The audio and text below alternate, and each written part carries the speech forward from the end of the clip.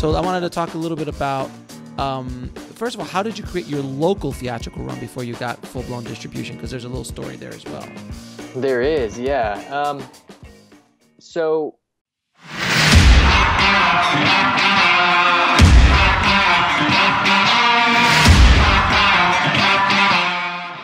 It's kind of crazy because uh, I'll just kind of take a step back, talk about um, how we kind of came about having a producer's rep and, and kind of getting repped, and then how we kind of led into our, our theatrical run. We ran the 2017 Film Festival circuit.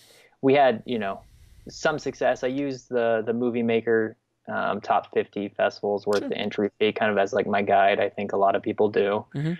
we got into three of those festivals at a, a total of five festivals. So I was, you know, pretty happy with that. We didn't like spend a lot of, we, we didn't do the scattershot approach, you know, as much as, um, as we could have. So I was a little bit more focused. We got into five festivals. I was pretty happy with that.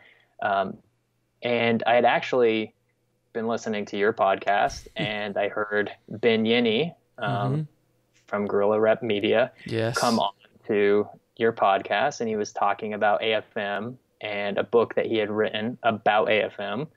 And so during this time where we were submitting to film festivals, I got on Amazon, I got his book, and I read it cover to cover. And I just reached out to him on Twitter. And I was just like, hey, read your book.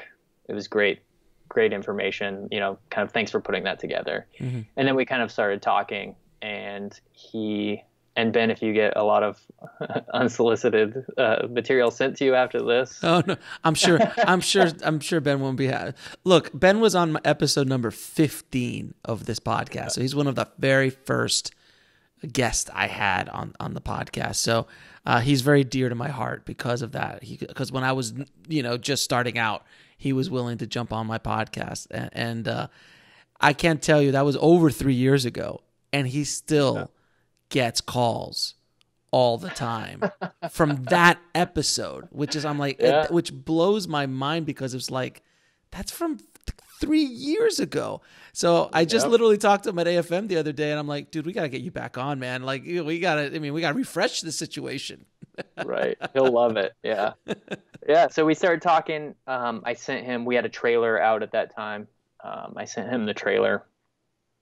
Um, he liked what he saw. I, I went through the process of going to his website. You can submit your your material through his website. So I, I did the full process. There was no shoe in per se. So he actually watched the film, liked the film, got him on board to be a uh, a producer rep. Um, and then when we were working out the the the, the contract and the deal, um, I had been asked. There's a there's a one screen theater in my hometown, uh, the Sherman Theater, Mhm. and it's near and dear to my heart. It's where I grew up going to see movies. It's where I saw all the the most important movies in my life. Of Uh, course.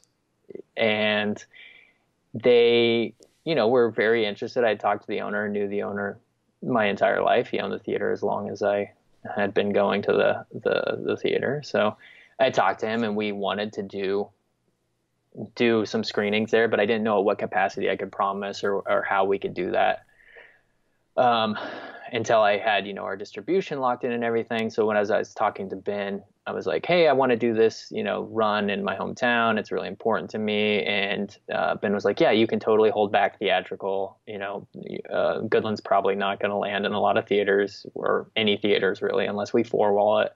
So you can hold back theatrical. And I was like, okay, great. So held back theatrical, told him what my plan was, set up a two week run at the local theater in Goodland and we were all set to go. Everything was like looking good, and our run coincided about a week within like a week of AFM happening in, in 2017. So Ben's at AFM. I'm in my hometown preparing for this two week theatrical run where I'm doing introductions and Q and A's after every screening. Um, and just kind of getting everything ready. I'm doing like local press, you know, I'm, I'm getting going on like local radio stations and talking to local paper and and all that, getting people excited, and everybody was excited. And then Ben Ben calls me and he says, "We may have a problem." and I said, "Oh no!" I was like, "What is this problem?" He goes, uh, "They want theatrical rights for our for our, the distri- the distributor wants uh, wants theatrical rights, and that's like every filmmaker's like, Dream. dream to hear that. Sure. And I'm a day away from a two week commitment. Uh, Of course, and I'm, and I'm sure everybody's waiting for it. It's going to be a premiere. It's going to be a thing.